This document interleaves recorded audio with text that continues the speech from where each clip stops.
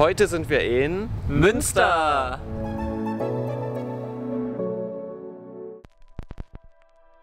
Münster, das ist die Postkarte unter den Städten im Westen von Deutschland. Jung, dynamisch, wunderschön und vor allem entspannend. Wir zeigen dir jetzt Münster in fünf Minuten. Der Prinzipalmarkt ist das Herzstück der Altstadt und besonders am Morgen ist es hier schön, wenn die Sonne aufgeht und du ganz ohne Trubel die vielen Details an den historischen Häusern entdecken kannst. Münster wurde wegen der hohen Lebensqualität mehrfach ausgezeichnet. Das Rathaus gilt als eines der schönsten gotischen Gebäude Deutschlands.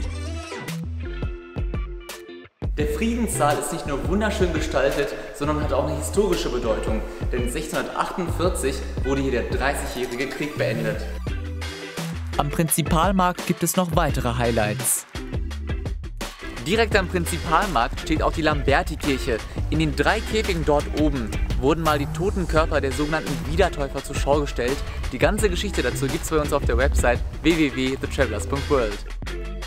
Von oben hat man einen schönen Ausblick auf die ganze Stadt. Dazu später mehr. In der Nähe befindet sich auch der Dom. Sehenswert sind hier die riesige Orgel und die astronomische Uhr aus dem 16. Jahrhundert. Das LWL-Museum für Kunst und Kultur beherbergt Ausstellungsstücke vom Mittelalter bis zur Gegenwart. Jeden zweiten Freitag im Monat hat das Museum bis 24 Uhr geöffnet, dann ist der Eintritt am Abend sogar frei. So, jetzt haben wir aber auch langsam Hunger und da haben wir einen besonderen Tipp. Das Gasthaus Großer Kiepenkerl ist in ganz Münster bekannt. Hier setzt man besonders auf nachhaltige und regionale Küche. Und ich habe Matthias bestellt und Jengis Roastbeef. Na dann, guten Appetit! 10 Punkte für das super leckere und super frische Essen. Und dann wird es Zeit für eine angenehme Nacht. Und zwar im Mövenpick Hotel.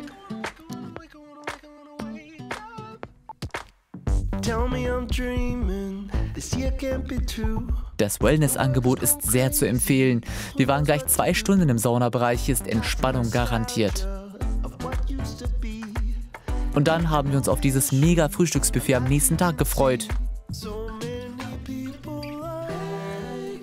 So, wir hatten eine angenehme Nacht und ein leckeres Frühstück. Das Buffet ist ja echt riesig hier. Und jetzt geht es zu unserem nächsten Highlight, nämlich zum Zoo.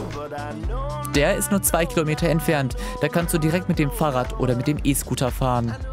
Der Alvetta Zoo ist das perfekte Ausflugsziel für einen entspannten Tag. Viele Gehege, wie hier der afrikanische Bereich, sind so angelegt, dass man den Tieren wirklich sehr nahe kommt.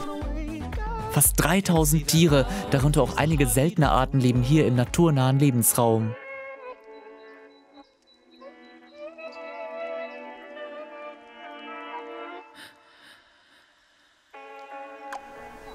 Eine Oase der Ruhe ist der Botanische Garten der Universität Münster. Hier findest du Pflanzenarten aus aller Welt und der Eintritt ist frei.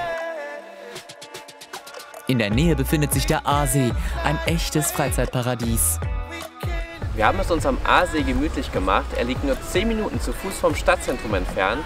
Und hier kannst du chillen, schön spazieren gehen oder, oder Boot fahren. Wir haben uns ein Tretboot gemietet und cruisen jetzt hier auf dem See rum. Puh, ganz schön anstrengend. Jetzt müssen wir uns wieder mal stärken. Und zwar bei Beetschwester. Beetschwester ist ein vegetarisch-veganes Tageskonzept im Prinzip und wir haben Crossover-Küche aus der ganzen Welt. Mmh, einfach lecker.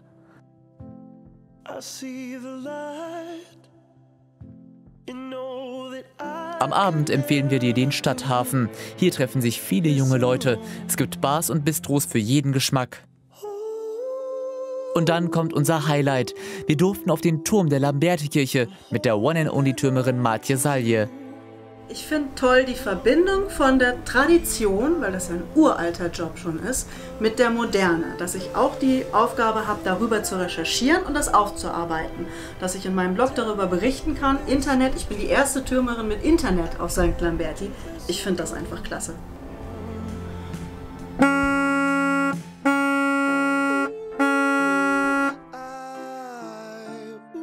Tschüss Münster. Und Aachen ist eine weitere historische Stadt im Westen von Deutschland. Also schaut auf unser Video Aachen in 5 Minuten.